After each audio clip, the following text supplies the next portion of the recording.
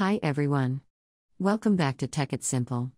In today's video, I'm going to guide you through how to redeem Binance gift card. Keep watching the video till the end, and don't forget to subscribe to our channel by hitting that subscribe button. Also, press the notification bell so that you'll never miss another upcoming updates from us. If you want to redeem your gift card with Binance first, make sure that you've downloaded the Binance application on your mobile device and also log into it.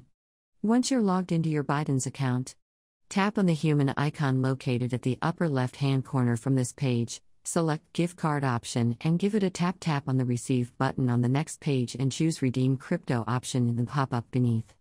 Give it a tap and on the next page, enter the 16 digit long gift code number. Make sure to enter the correct gift code information and finally tap on the Redeem button.